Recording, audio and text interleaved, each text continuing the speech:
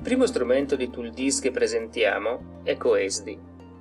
CoESDI è l'acronimo di Contributo all'esposizione delle disuguaglianze. È uno strumento utile a comprendere il fenomeno delle disuguaglianze sociali nei comportamenti messi in atto dalla popolazione residente nelle regioni italiane, con l'obiettivo di capire quali fattori di rischio hanno un peso maggiore e quali di essi sono più influenzati dalle differenze socio-economiche presenti nella popolazione. In altri termini, CoESDI aiuta a rispondere alla seguente domanda. Su quali fattori di rischio converrebbe lavorare per ottenere il maggiore effetto di riduzione delle disuguaglianze sociali nella salute? Inoltre, lo strumento può essere utile ad essere applicato alle prime fasi di un percorso di Health Equity Audit, con particolare riferimento all'analisi del contesto, alla costruzione di un profilo di equità e all'individuazione delle priorità di intervento. Coesdi richiede di ragionare in modo controfattuale. Questo vuol dire che per capire l'impatto reale delle disuguaglianze sociali bisogna provare a capire cosa succederebbe se le disuguaglianze non esistessero, e cioè se tutti fossero esposti al fattore di rischio preso in considerazione come nei soggetti meno svantaggiati socialmente, come si modificherebbero gli stili di vita delle persone? Per inciso, in questo strumento le disuguaglianze sociali vengono stimate attraverso il proxy del livello di istruzione, dove i soggetti con il livello più alto sono considerati i meno svantaggiati. Entrando nel vivo dello strumento, aprendo la pagina Cos'è Coesdi, è possibile provare ad intraprendere questo percorso in diversi contesti, le regioni italiane e l'Italia, per 12 fattori di rischio di tipo comportamentale e in differenti target di popolazione, suddivisi per genere e grandi classi di età. Nella pagina Descrizione delle fonti viene illustrata sinteticamente la fonte informativa utilizzata per la selezione dei fattori di rischio. Si tratta dell'indagine Aspetti della vita quotidiana, indagine condotta annualmente dall'Istat nell'ambito del sistema di indagini multiscopo sulle famiglie su campioni rappresentativi della popolazione che vive in Italia. Aprendo la pagina Fattori di rischio, vengono presentati i 12 fattori di rischio utilizzati con una, utilizzati con una loro breve descrizione e con una definizione su come sono state eh, operazionalizzate eh, le variabili. Aprendo infine la pagina indicatori, vengono illustrati tre indicatori che lo strumento propone, il beneficio percentuale, l'impatto percentuale e l'impatto assoluto. E per ciascuno di questi la coppia di valori rappresentati in ascissa i valori eh, riferiti alla popolazione e in ordinata quelli riferiti all'effetto delle disuguaglianze. In sintesi, il beneficio percentuale consente di stimare la riduzione di esposti che si potrebbe ottenere dall'eliminazione di una determinata esposizione ad un fattore di rischio.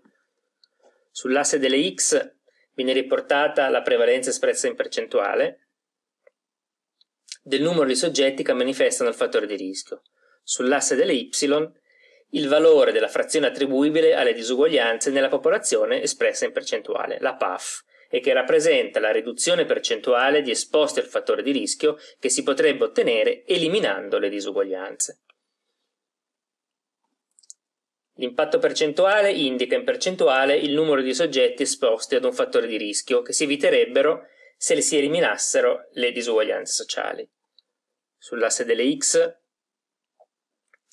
è riportata nuovamente la prevalenza percentuale, che esprime in percentuale il numero di soggetti esposti al fattore di rischio considerato, e sull'asse delle Y l'impatto percentuale, cioè il numero di soggetti espressi in percentuale esposti al fattore di rischio che si eviterebbero se si annullassero le disuguaglianze.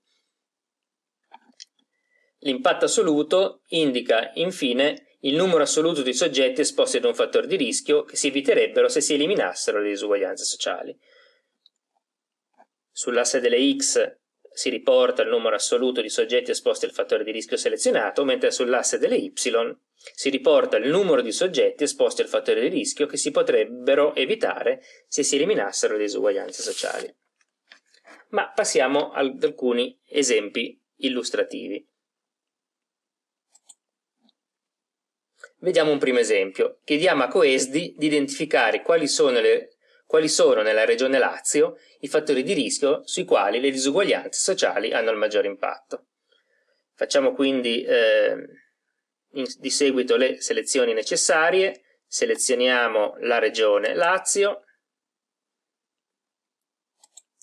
al passo successivo su, eh, selezioniamo tutti i 12 fattori di rischio proposti dallo strumento,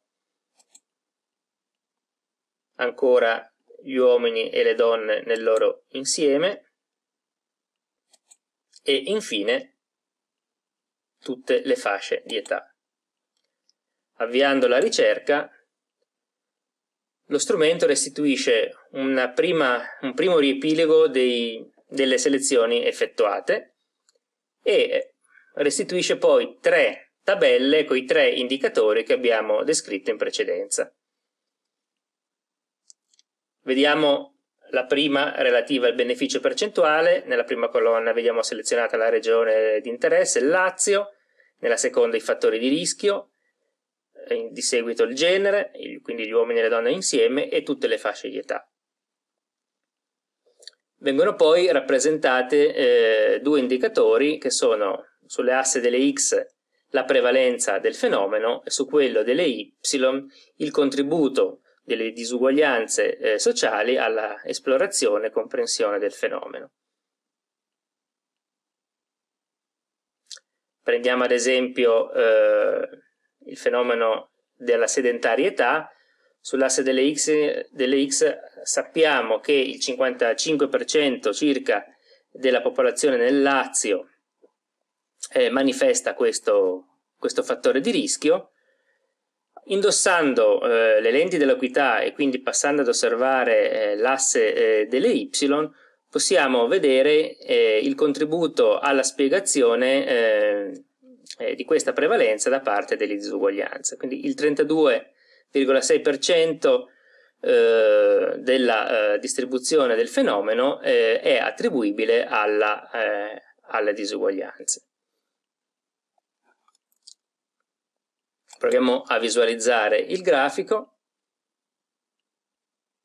Vediamo quindi sull'asse delle x la prevalenza espressa in percentuale e sull'asse delle y il contributo delle disuguaglianze. Andando a vedere i sedentari vediamo allora una prevalenza, come dicevo, del 55% e una riduzione di questa prevalenza del, di circa il 33% che si determinerebbe eh, se si eliminassero eh, le disuguaglianze eh, sociali.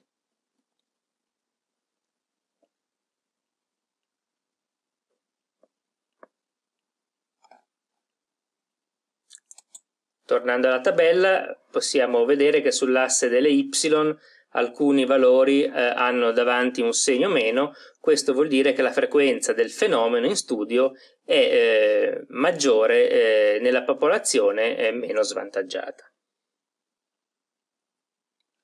Passiamo adesso ad un secondo esempio. Chiediamo ora a Coesdi di, identif di identificare in quali regioni uno specifico fattore di rischio mostra le più importanti disuguaglianze sociali. Facciamo appunto l'esempio della sedentarietà tra le donne. Anche in questo caso facciamo le selezioni, in questo caso selezioniamo tutte le regioni italiane, di seguito il fenomeno della sedentarietà,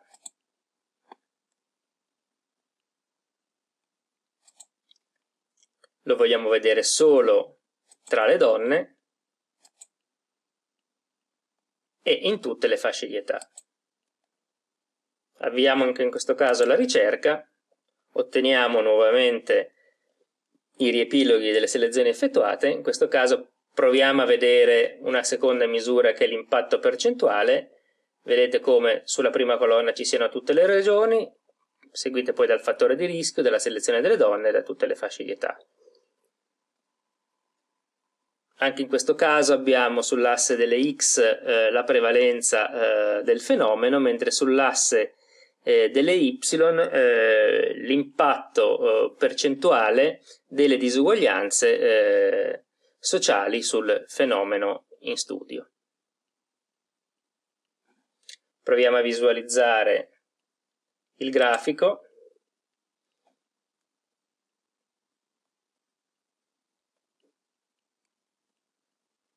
Nuovamente la prevalenza percentuale sull'asse delle ascisse e il contributo delle disuguaglianze all'esplorazione del fenomeno, ad esempio in Val d'Aosta e in Piemonte eh, possiamo vedere una prevalenza del, del fenomeno del 49% e una eh, possibilità di eh, eliminare eh, il, il, fenomeno della, della, della, sedentarietà del 18% se eh, riuscissimo ad, ad annullare le disuguaglianze sociali nella popolazione. Attraverso questo tasto è possibile eh, stampare il grafico e tornando indietro alla tabella è possibile attraverso quest'altro eh, tasto esportare i dati elaborati in Excel, aprirli o salvarli su PC. Vediamo ancora un ultimo esempio.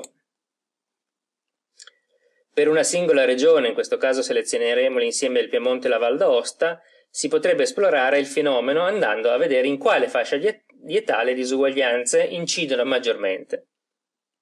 Facciamo anche in questo caso le selezioni necessarie, allora selezioniamo il Piemonte e la Valle d'Aosta,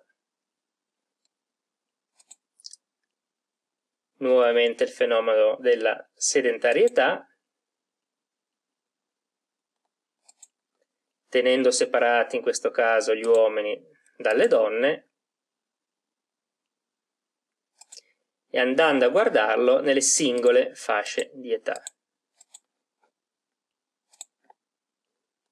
Avviando la ricerca otteniamo nuovamente le tre tabelle, andiamo in questo caso a vedere l'impatto assoluto.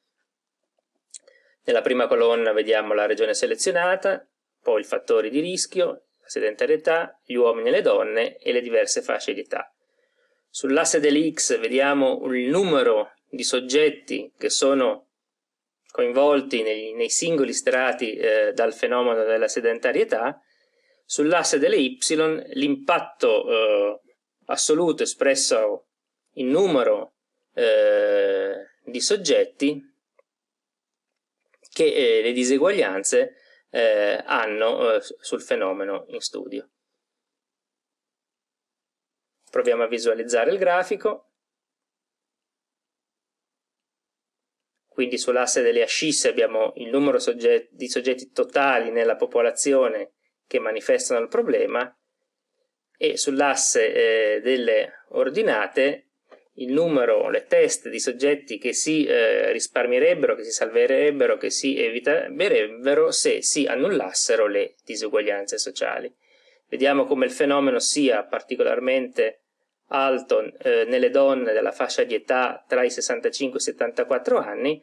Vediamo che eh, ci sono 156.000 donne in questa fascia di età che manifestano il problema della, sed della sedentarietà se noi annullassimo eh, le disuguaglianze, eh, per così dire, eh, salveremmo, risparmieremmo circa 82.000 soggetti da questo eh, fattore di rischio.